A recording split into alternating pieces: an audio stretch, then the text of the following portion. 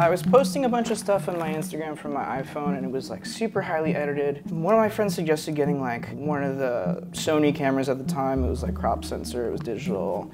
And then I was trying to figure out what to photograph and you know, from going to school for music, I knew so many uh, musicians just around town. And they were like, yeah, just come, come take some photos. Like, yeah, maybe if they're cool, like do whatever you want. If they're cool, we'll use them. I love the aspect of just being able to be at a bunch of different shows and kind of contribute to them in some way. And I think a lot of the bands and musicians just quickly realized like, oh, it's so cool to have someone photographing who like, you know, just has context for what's happening on stage. I'm always bringing my experience almost kind of specifically of classical music in a way. What are those barriers that everyone has to even that sort of art?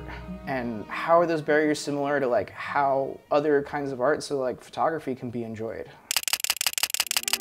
I, I didn't really know about the genre of you know, documentary photography or street photography or any of these other even genres or history of photography. But yeah, I started shooting film and then I started understanding like how to make a photo when you're shooting film and you can't look back at it and anything that was just me or anything that was music, everything just started doing film and I was just like, I gotta figure out how what's happening in front of me can end up as the photo. These two different time frames that are going on, which is what's happening in front of you when you take the photo, and then everything that happens after that of the photo existing. Using film really forced me to like have my own uh, relationship with time and with the photos.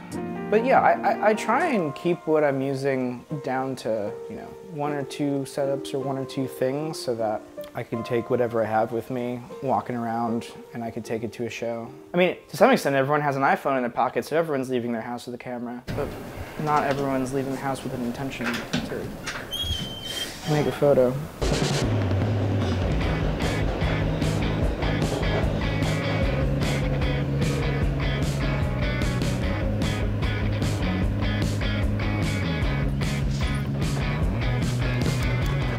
I don't know if I have such a constant thought top of mind. Maybe that's that's a way of like the photos I'm making are just getting closer to the experience I'm having, where I am feeling less separation of those two things of what I'm feeling and the photo that I'm making. I'm not getting too too close to anyone. Sometimes if I can make eye contact right before I take the photo, you get a sense of if they're not in a place where they want their photo taken.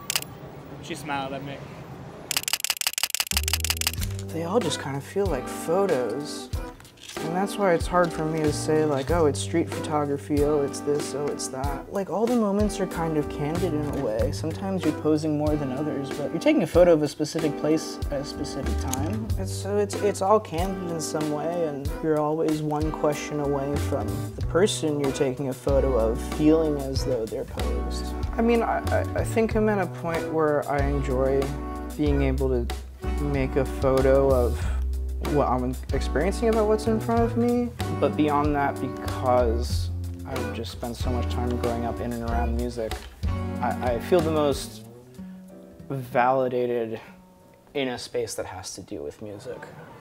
I'm pretty excited for the for the show tonight. Actually, I think it'll be fun. Uh, Rebounder, which is a, a great indie rock band here in New York, uh, they usually play pretty large venues. I would say Bowery Ballroom, uh, etc. Music Hall Williamsburg, um, they're playing a pretty small bar tonight, so it should feel pretty crowded intimate, which is always fun because like any sort of I don't know, any sort of wide shot just has will have so much action between the crowd and the band and all those things in it.